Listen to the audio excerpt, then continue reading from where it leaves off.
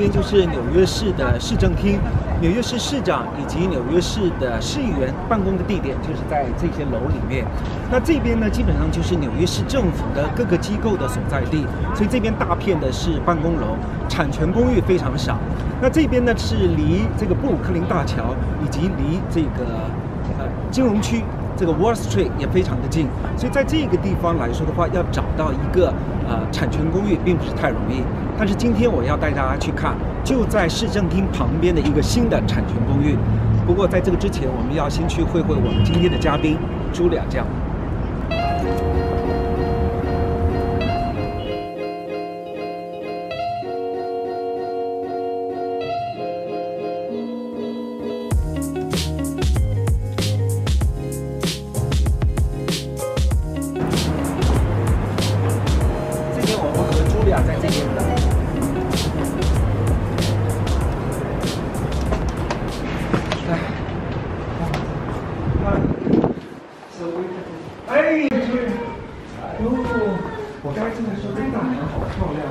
已经很有那个圣诞的气氛了。气氛了是不是？对对对对对。你看我们这个大堂，对不是这个上一次在拍那个一个人一天的时候，当时正在做装修，什么都没有。啊，所以这个是新装修好的。哎，大堂是新装修好的啊，yes，原所以这个。楼，这个楼本身就是很有特点。你看它这个楼，是一八九六年的楼，你看一下我们这个大堂楼楼顶的雕花哇，哎呀，，beautiful，好美啊一八九六的大楼这个也是啊 Deco 是的，是的。你们去那个 roof 去看一下，我们的 roof 可以看到四周的所有大楼和新建的大楼和所有的景色。我们这个大楼本身就是 condo 大楼，本身就是产权公寓。这个这个大楼呢是一八九六年建的，Art Deco，非常非常的美。你看它的建筑，你看外面的这外面这个雕花和这个细节，这个大柱子啊，一进来之后，整个就还是对，这种而且而且气场是导演非常好。对，觉得把是的。我们呢，我们去顶楼，去 roof garden。哇，金光闪闪，所以我说增加点亮点嘛。吴亚老师总是黑黑的，对不对？然后这个墨镜一戴，好嘛，这天也黑了，墨镜也不用戴。去 roof roof deck 对，看一下路看一下能不能走上去。哇，这边刚好是夕阳的时候。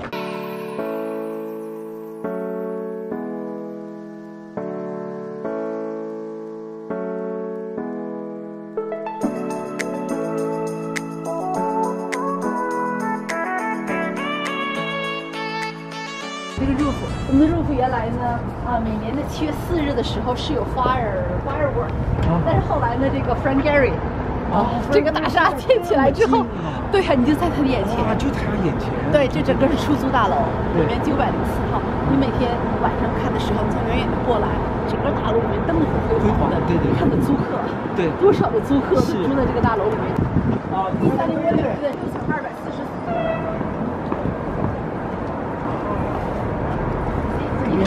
你看，下面这边，你看这里看多美。对，你看这个就是我们等一下要去参观的二十五五号 Park 对 Park Row，就是这个我手指的这个，对对。是金融区过去来讲的话，基本上都是办公大楼，只是最近的十多年，整个金融区已经改变了，就像我们节目里说的一样，对不对？对，二零零六年开始呢，其实呢有很多的老楼就开始转换成产权公寓大楼。你看我们这个大楼呢，就是二零零二年转换成了产权公寓。最新的这一座呢就是这套房，就是这个 Twenty Five Park Row，然后还有下面旁边这个 One Bigman，但是 One Bigman 还没有上市，这相对来说规模小一些。那这二十五号 Park Row 呢，这种气场气势更强一些。对咱们从这里过吧，从这里过。然后我们走一走。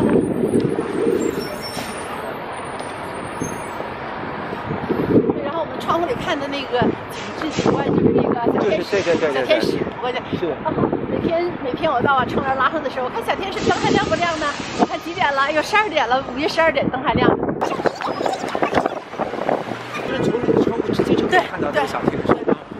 所以你看这里的建筑，你看所有这里每一栋建有历史感，正好是在这个有历史感和现代感共同交融的这个脉搏点上，政治、经济、文化、人文啊，它有历史的沉淀，它有人文的故事在这里面，有整个城市的城市的美学。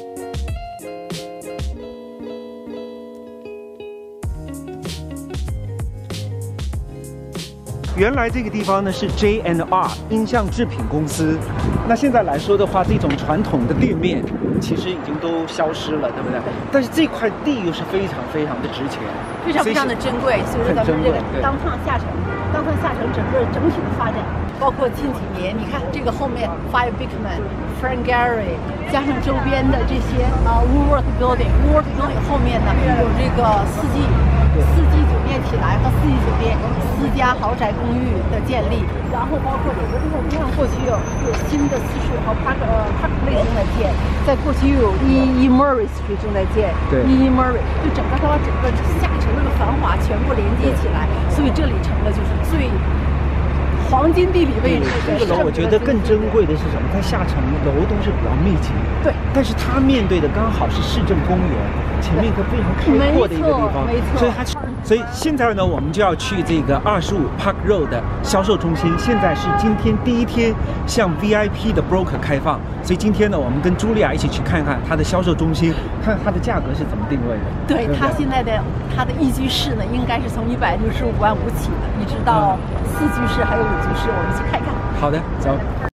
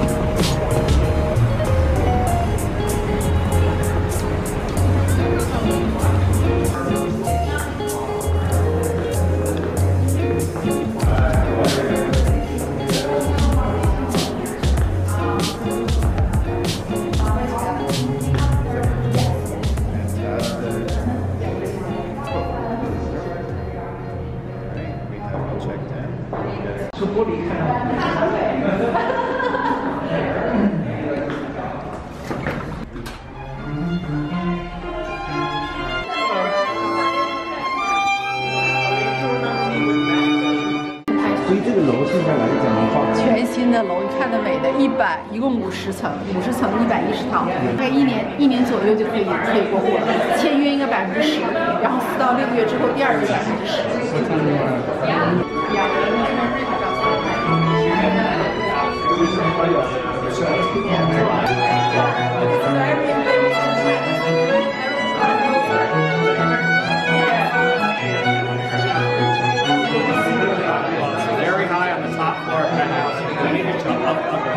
Find out from Brandon, give you the exact dimensions. The, interior so it's kind of clumpy. It's more short buildings stacked on top. But that was the tallest building in New York from 1899 to 1908 the Singer Building.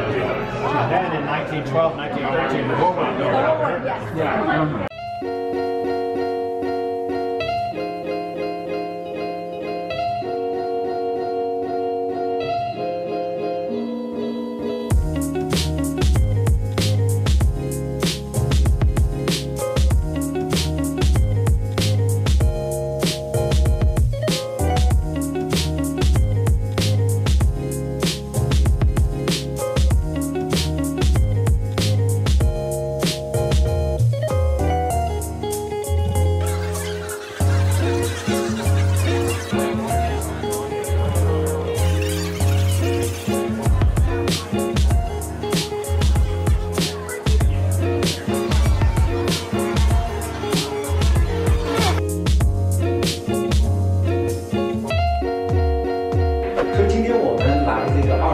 Top Row 这个新的产权公寓的这样的一个预售的这样一个酒会，所以我们可以看到，基本上纽约的一些大公司的 top 的 broker 都会来，让他们第一次来看这个新的 project，那这样他们心里就有数，这个 project 到底在整个纽约市这么多的新的产权公寓里面，它的做工、它的定价、它的地理位置以及它的 view 各个方面做了一个新的一个评估。